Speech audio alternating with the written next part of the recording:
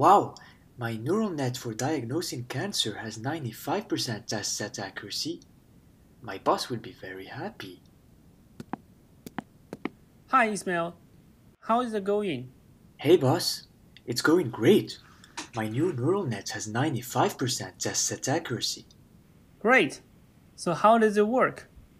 It works like this there are connections from each feature to the hidden layer.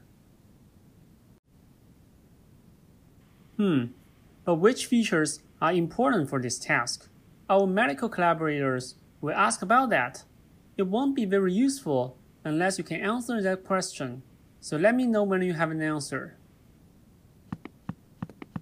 Mm, maybe I should apply a lasso penalty to reduce the number of edges.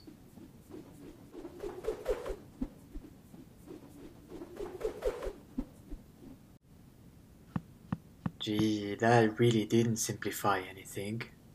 Aha! I have an idea! I'll add skip layer connections and use their weights as upper bounds for the hidden layer weights. That way, I can encourage the learning algorithm to eliminate all of the weights for a given feature.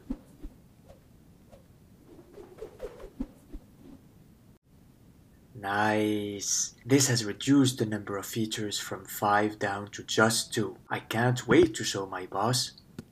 Hey, Ismael, you wanted to see me?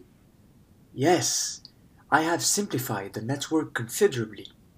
Now, it uses just two features, and there is no real loss of performance. Fantastic. Good work. I can't wait to show this to our collaborators. To say thanks, I'm giving you Saturday off, but I still need you to come in on Sunday.